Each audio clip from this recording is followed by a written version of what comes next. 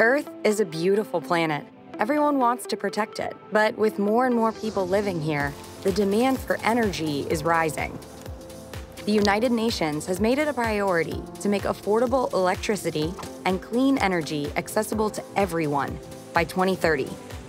So we can do simple things, like cook food to sustain ourselves and our families, and extraordinary things, like explore outer space with minimal impact on the world around us.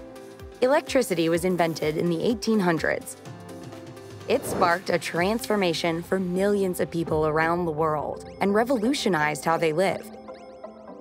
But 1.2 billion people still don't have access to electricity. For them, life is a challenge. But new clean energies like solar power which converts sunlight into electricity, and wind turbines, which convert kinetic energy, are making it easier and more sustainable to supply and access electricity. It's imperative that we continue to invest in renewable energies, not just for ourselves, but for the health of the Earth, too. For centuries, mankind has mined the Earth for fossil fuels like crude oil and coal to manufacture goods and power transportation but when consumed, fossil fuels emit dangerous toxins that contribute towards climate change by increasing the temperature of Earth's atmosphere.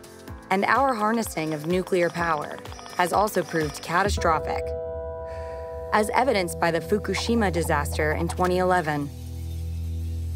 Our reliance on these kinds of energies has had consequences. But it's possible to reverse some of the damage we've caused progress is being made.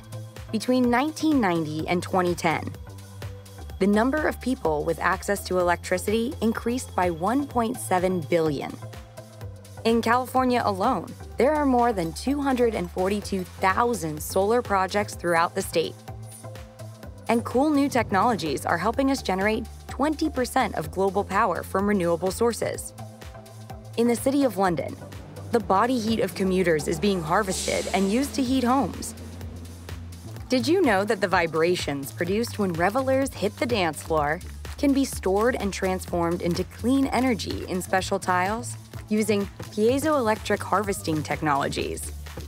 We can all be a part of the solution to generate a revolution in energy production and consumption by 2030.